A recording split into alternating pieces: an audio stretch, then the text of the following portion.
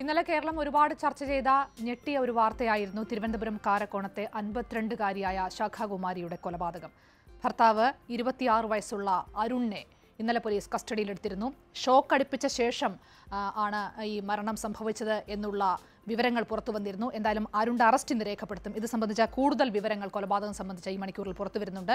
ഷഹീനാണ് നമുക്കൊപ്പം ചേരുന്നത്. ഷഹീൻ എന്താണ് ഈ കൊലപാതകത്തിലേക്ക് എത്തിച്ച കാരണങ്ങൾ എന്നത് സംബന്ധിച്ച് ഇന്നലെ ഒരുപാട് വാർത്തകളൊക്കെ പുറത്തു വന്നിരുന്നു. ഇപ്പോൾ കൂടുതലായി പോലീസ് എന്തൊക്കെയാണ് വ്യക്തമാക്കുന്നത്? എങ്ങനെ ഈ കൊലപാതകം നടത്തിയെന്നത് സംബന്ധിച്ച് പോലീസിന് കൂടുതൽ വിവരങ്ങൾ കിട്ടിയിട്ടുണ്ടോ?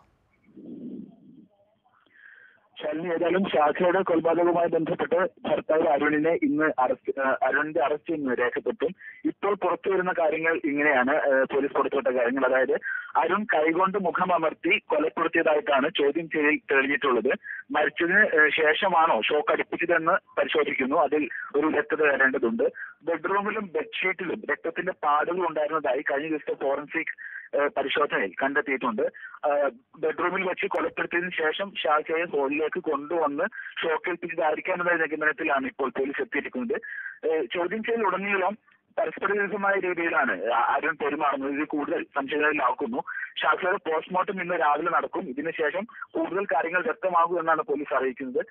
മറ്റൊരു കാര്യം കൃത്യം അരുൺ ഒറ്റയ്ക്കാണോ നടത്തിയത്? അത് മറ്റാരുടെയെങ്കിലും സഹായം ഉണ്ടായിരുന്നു തുടങ്ങിയ കാര്യങ്ങളും അന്വേഷിക്കുന്നുണ്ട്. മറ്റു ചിലരിലേക്ക് കൂടി അന്വേഷണം നീളാനുള്ള ഒരു സാധ്യതയും പോലീസ് തള്ളിക്കളയുന്നില്ല. കൊലപാതകത്തിന് പിന്നിൽ ഷാജയുടെ സ്വത്ത് തട്ടിയെടുക്കലായിരുന്നു ലക്ഷ്യമെന്നാണ് പോലീസിന്റെ ഒരു പ്രാഥമിക നിഗമനം. ഷാജയുടെ ചില വസ്തുക്കൾ കൈകാര്യം ചെയ്തു വഴി അരുൺ ലക്ഷങ്ങൾ കൈക്കലാക്കിയതായി പോലീസിന് വിവരം കത്തി- കിട്ടിയിട്ടുണ്ട്. അതുകൊണ്ട് തന്നെ അന്വേഷണം ഈ രീതിയിലും പുരോഗമിക്കുന്നുണ്ട്. കഴിഞ്ഞ ദിവസം ഫോറൻസിക് വിദഗ്ധരും കെ എസ് ഉദ്യോഗസ്ഥരും വീട്ടിൽ പരിശോധന നടത്തിയിരുന്നു. പരിശോധന ഇന്നും തുടരും. ഈ ഇപ്പോൾ രക്തത്തിന്റെ പാടുകൾ ബെഡ്റൂമിലടക്കം കണ്ടെത്തിയ സാഹചര്യത്തിൽ കൂടുതൽ പരിശോധന നടത്തേണ്ട ഒരു സാഹചര്യത്തിലാണ് ഇന്ന് വീണ്ടും പരിശോധന തുടരുന്നത്. ഇവരുടെ റിപ്പോർട്ടിന്റെ കൂടി അടി- അടിസ്ഥാനത്തിലാവും പോലീസ് പോലീസ് തുടർ നടപടികൾ സ്വീകരിക്കുക.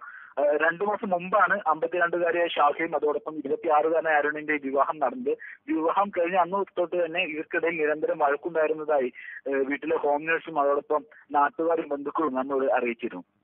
ശരി ശരി.